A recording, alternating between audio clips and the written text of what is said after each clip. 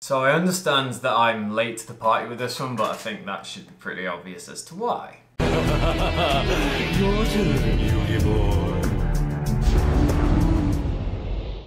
So, obviously, with the global pandemic that is still going on uh, in the world, um, obviously Yu Gi Oh! has been heavily affected by this in the fact that uh, physical tournaments obviously can't take place because of uh, the, the restrictions that are, that are in place for social distancing, with the lockdowns in the different regions, and so on and so forth. And it really brought up a very interesting. Um, kind of situation that no one, no card game has ever really been um, been able to experience before, and it's had to cause a lot of different things that people haven't really thought about. Um, and when it comes to Yu-Gi-Oh, I think the game itself is at probably the biggest dis- biggest disadvantage to any card game that probably exists right now that you know some of the big ones like Vanguard, Magic, Pokemon, so on and so forth. When this first kind of kicked off and um, when everyone was obviously uh, you know thinking about how this would would all kick off and how it would play out uh, right at the start I was thinking oh well you know this might be the thing that finally pushes the company to really look into an official online simulator or a downloadable simulator or something that um, basically facilitates online play for the player base because this is going to go on for quite a while. It does look like the social distancing thing might be there for another good, like, say, three odd months, let's say.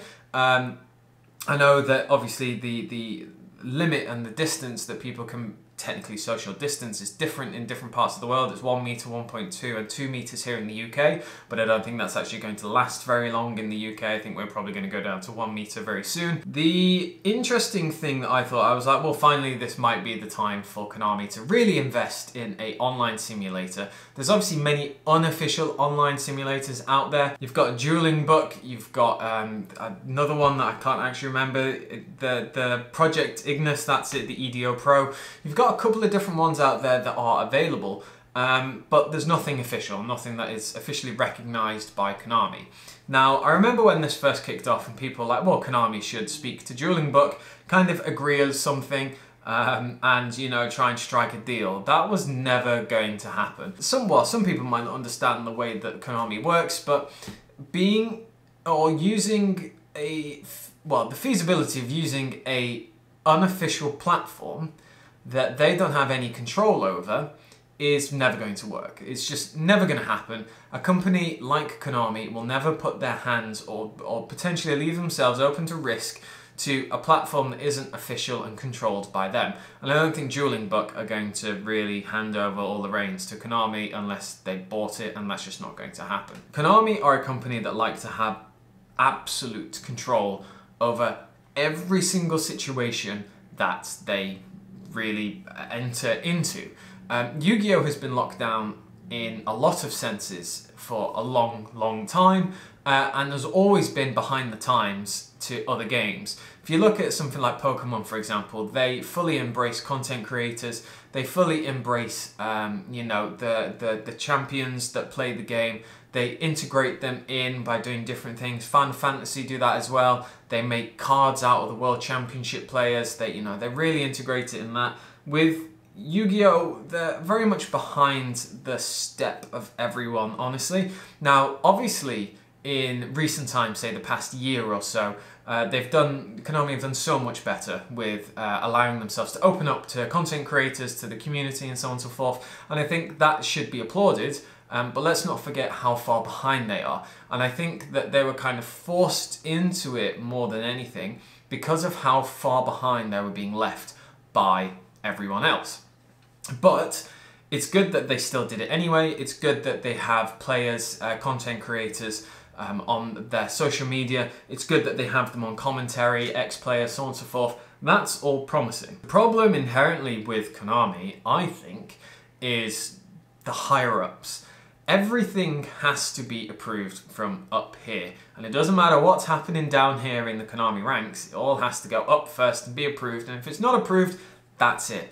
Game over, never happening. Now, I am speaking as someone who is obviously outside the company. I've never really had uh, any real proper dealings with the system of Konami, bar a couple of times where I've, I've been there or talked to employees. I think for the most part, everyone is, is got their head screwed on. They, they know what they're doing and they do have, you know, I would like to think they have the best intentions of the game at, at heart. Who wouldn't? But I do think there's that just overarching lords of, of Konami that just don't allow things to happen.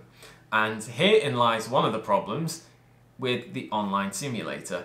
I don't think the owners of the game really ever want to consider Yu-Gi-Oh being a non-physical platform that you play on. I think the whole idea is that it's always going to be a physical thing that you play. You have the cards, you physically have to own the cards to be able to play the game. Now, obviously there's lots of ways that a online dueling uh, platform can work. Like Pokemon, for example, let's just, and everyone has pretty much got the same platforms in, in, in place, but let's just do Pokemon because that's one that I know well. Um, they have an online program, they have a program that you download onto your computer, works on all operating systems. Download it, then you have different decks. You can play offline modes where you just play little campaigns, you can play against computers, so on and so forth, but then there's obviously the online ones. In that, you uh, win packs, you win uh, decks, you can do certain challenges to get certain points and so on and so forth, and then you accumulate in-game currency so you can buy things. But then you can also use real world money to buy things as well. In a Pokemon pack as well, you also get in every Pokemon pack that you buy, a physical one, you get a code that gets you a free pack online as well, which is a really good incentive uh, because it means that you're integrating into both platforms. That's just one way of generating revenue.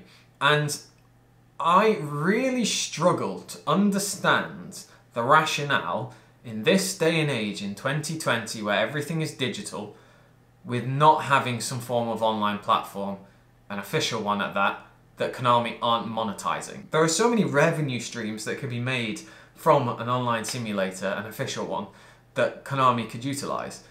And I am struggling in this day and age to understand why they aren't doing it. Given the global pandemic, I thought this would be the perfect opportunity for them to do it. I would think, cool, okay, well, there's obviously going to be um, development time, there's obviously going to be um, testing phases, and it's not going to be rolled out in just a month. But I thought, you know, in four or five months, I thought they might be able to do something with it. Um, obviously, Japan were, in well, the Asias in general, they were uh, before the UK for the COVID that we were about a month or two behind them in cases, in uh, how everything was ramping up. So, you know, they had a head start on everything and they could have potentially planned something out. Now, I'm not saying that doing a online simulator is just like that. It's super simple, everyone's doing it, don't worry about it. There are obviously a lot of challenges, a lot of red tape that are included in that. Obviously with the lockdown, people can't really work, not a lot of stuff that can be done. So I'm not saying that this is something that is super simple and can just be drawn up in a matter of days. Takes a lot of time, I understand that. I used to do game development, so I understand how this all works, but I don't think that's actually the problem. I don't think the resources are the problem. I don't think the development time is the problem. I think the approval is the problem, and that has always been the problem with this company, from what I can see, from my standpoint. It might not be the case.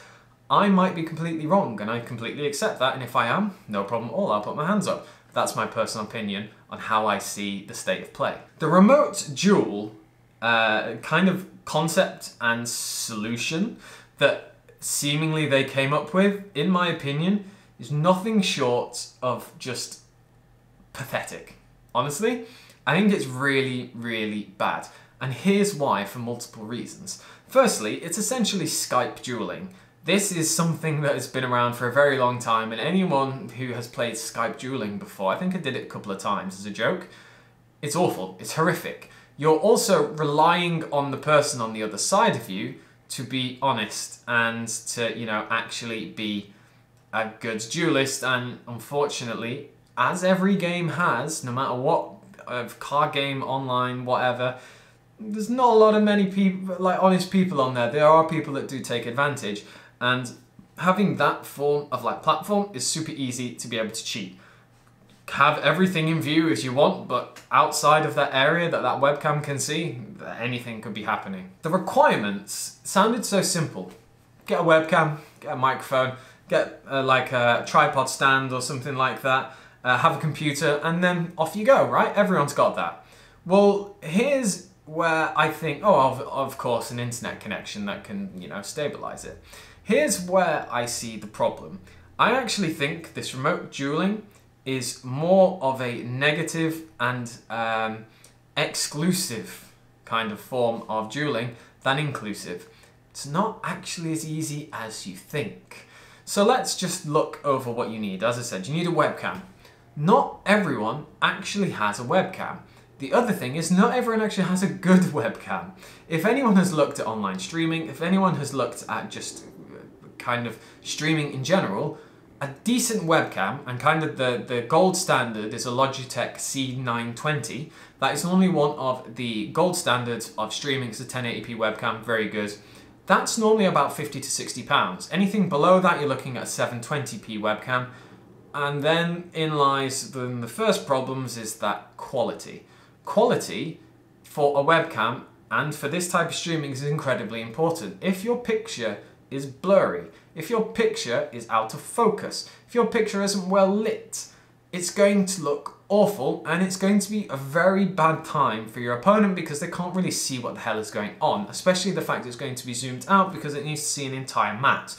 So someone has to invest a plus 50 pounds into a good webcam. There's the first problem. That's unfair to do. Second thing is a stand. Now, a lot of people will think, well, how'd you get that top-down view? Only until a, a year or two ago, even content creators and very famous ones couldn't do that top-down view. They hadn't thought of a good way around it because a lot of the solutions out there, not that great. Now obviously webcam, uh, now obviously tripods can turn, they, you know, they can angle the whole thing. That's one of my webcams there, uh, one of my tripods there. Also I've got an actual locking arm that can uh, move in different ways so it can look down. I've been very fortunate to have that they're also very expensive. There's another bit of cost. So if you call that like say a good tripod or a semi-decent tripod, that's like 20 to 30 pounds. Already we're up to like 80 pounds just to be able to try and do an online duel.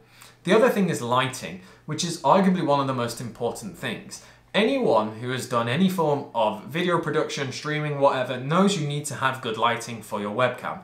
If you do not have good lighting for your webcam, starts to get grainy, which there, therefore means that you can't really see the cars, the details bad, so you have to have good lighting. So if, for example, you say you just have normal lighting like this, cool, fine, but as soon as it starts getting dark outside, lighting starts to deteriorate, you're uh, then relying on artificial light, that's when the graining starts getting really, really bad. Unless you have natural white light lights, it's not going to look very good. Orange lights, and as you can probably tell from this a little bit, starts flickering a little bit sometimes. If you don't have proper studio lighting or something that's actually very good, can be a problem. Now, obviously that might be an easier one because a lot of people have just like lamps, so on and so forth. Might be good, but then the directional lighting will throw it off. Then you have to deal with glare if you don't have um, an even spread on the light because the glare on the sleeves it's a lot more difficult than you actually think. And then one of the most important things, your internet connection. It's not about your download when you're doing these online streams, it's your upload. Because you need to upload data from your computer to a server somewhere.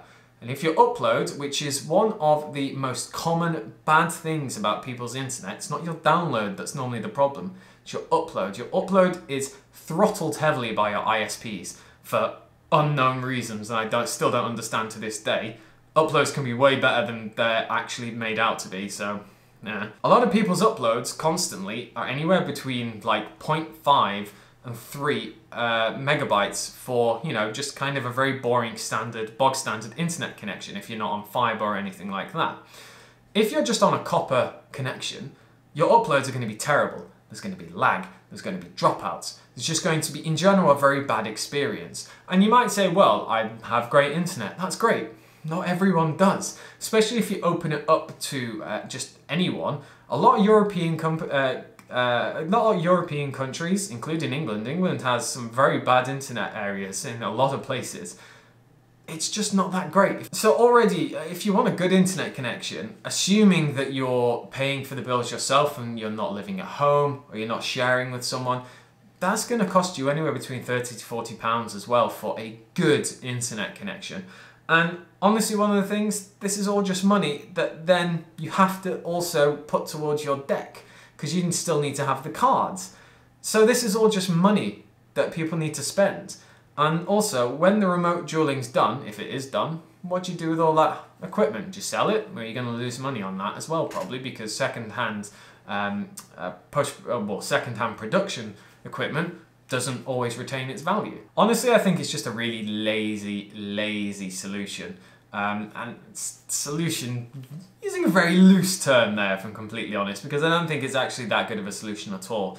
This was the perfect time for them to address the the community on online simulators and do something themselves. Even if they just said, we realize it's not perfect, this is what we're just going to do for now, but we are working on something, that'd be great. I think a lot of people would understand that if they said it's going to take a year for us to properly do it because we need to properly implement the support there. We need to have online judges. We need to train them up. We need to make sure the platform is used. Um, and even if just the platform was used for only online tournaments, if it wasn't open to the public um, or allowed to be open to the public, uh, only online tournaments, I think that would be enough right now, honestly, because everyone knows you use Dueling Book or you use uh, Project Ignis, or you, depending on if you want a manual or uh, manual or automatic uh, simulator. Um, I think a lot of people will just kind of go along with it, say, okay, we'll use this, but then at least we have an online platform that's controlled by Konami um, and and something that's good, and then you can do what you want. If if if even if, for example, they said well, you need to have the physical cards, fine, whatever you can show that you have the deck. You can write up the deck list, take the pictures, and then you can build the deck online, something like that. I don't know if they want to make sure that you, they're getting your money um, for the physical cards, but I think they really need to. Essentially, they really need to buck up their ideas with the online simulator. They need to commit to it because it's not going to go away for probably quite a while. I know that the game is a physical game. I know that having the online tournaments isn't a thing they really want to go down and they want to have physical tournaments and always have them. That's great. I agree. I think physical tournaments are way better than online tournaments, in my opinion. Um, the the being able to just experience an online tournament, uh, uh physical tournament, being able to experience it with your friends. I've had some amazing holidays going to uh, like YCSs. I think probably my favorite YCS or Yu-Gi-Oh like trip in general was YCS Prague where I went with some with Mike from the Brotherhood or friends like that. That was just an incredible weekend of just so much good memories and so much good fun. Didn't even matter about the tournament. It was just the fact that we used to go and we go to the, the, tournament and that, and it'd be great fun.